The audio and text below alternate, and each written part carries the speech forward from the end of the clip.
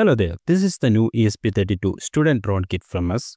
The kit comes with the fully assembled programmed PCB, four motors, a battery, a battery connector, propellers, and these rubber grommets. First, you need to separate these legs from the main PCB. Now, insert the rubber grommets to the sockets. In the next step, insert the motors like this. After fixing the motors, fix the separator legs to the main piece. After that, insert the motor wires through the PCB hole and solder to the motor connection points.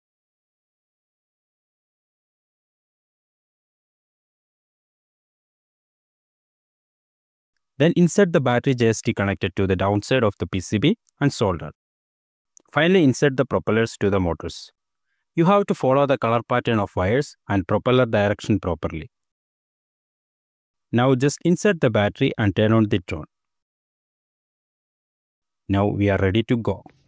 You can find the complete tutorial video from the channel. Thanks for watching.